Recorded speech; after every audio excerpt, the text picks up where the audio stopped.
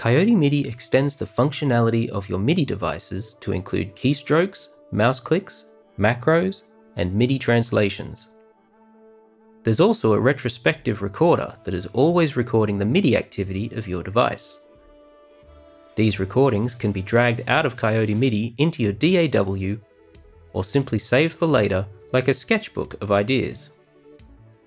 Licensed users of Coyote MIDI Pro will gain access to a scripting system that lets you create complex macros to fully customize and automate your workflow.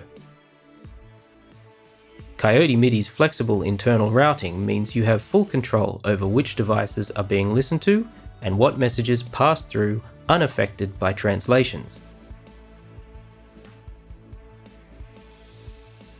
The installer for Coyote MIDI can be downloaded from coyotemidi.com. The installer downloads as a zip file and will need to be extracted first. Once extracted, run the Coyote MIDI installer.msi file to begin the installation process. After agreeing to the end user license agreement and completing the installation steps, a shortcut will be placed on the desktop. Coyote MIDI can be launched either with the shortcut or by running the coyotemidi.exe file in the installation directory. When Coyote MIDI launches for the first time, it may take a moment for the app to fully become visible. Coyote MIDI will automatically look for updates and install them by default if there are any available. This means that you may see some download activity after launching the app. You can disable this auto download feature from the settings tab. There are a number of settings to customize Coyote MIDI's behavior to suit your preference. Before creating your translations, navigate to the MIDI tab on the settings page.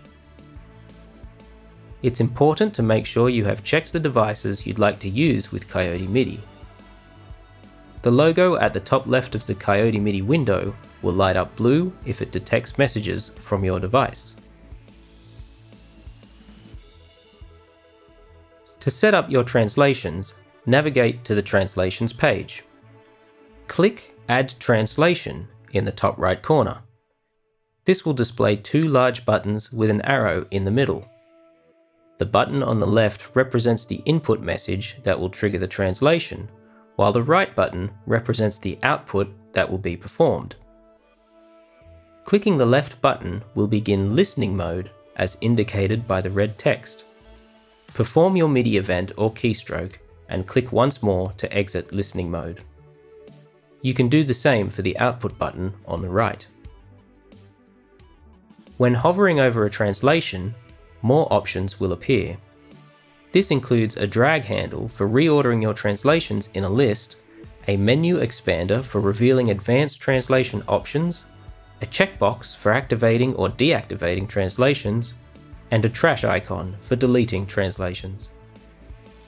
In the expanded options of the translation, you can manually change each parameter of your input and output messages and access additional settings to control the behavior of your translation, such as selecting a specific device to listen to, program exclusivity, and more.